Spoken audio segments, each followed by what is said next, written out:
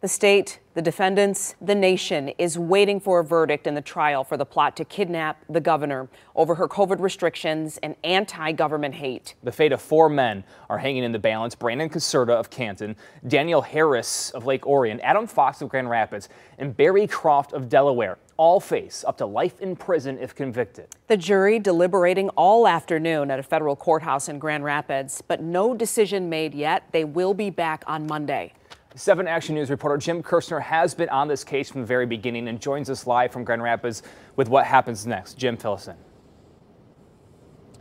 This is a jury of six men, six women. They will be back here first thing Monday morning. There are also three alternates will be kept in a separate room. They heard several hours of closing arguments, two vastly different stories.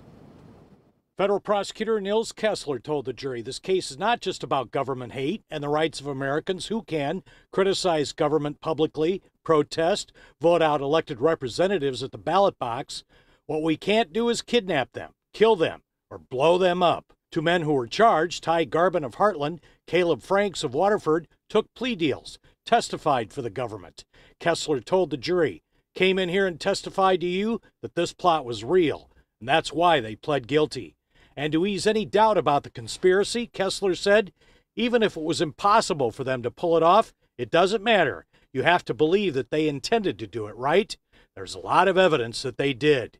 He addressed Big Dan, who was the insider who worked for the feds and has been targeted by the defense as part of the entrapment. Kessler telling the jury, Throughout four weeks, did you hear anything that convinced you that Dan or anyone else coerced anybody into doing anything? Did you hear anything that convinced you that this idea came from the government and not from the defendants themselves?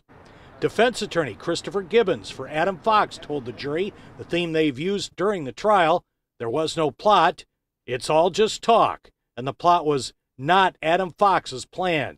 He put the blame on the feds, saying, We think the evidence shows clearly those plans belong to the government. We don't make terrorists so we can arrest them. Now we're going to have more next hour at 6, including one other defense attorney telling the jury that the FBI was willing to hide the truth, that this case is just smoke and mirrors. And how does the prosecution respond? We'll see with all of that next hour at 6. Live in Grand Rapids, Jim Kiertzner, 7 Action News. Jim, as always, thank you for the report. We'll see you at 6.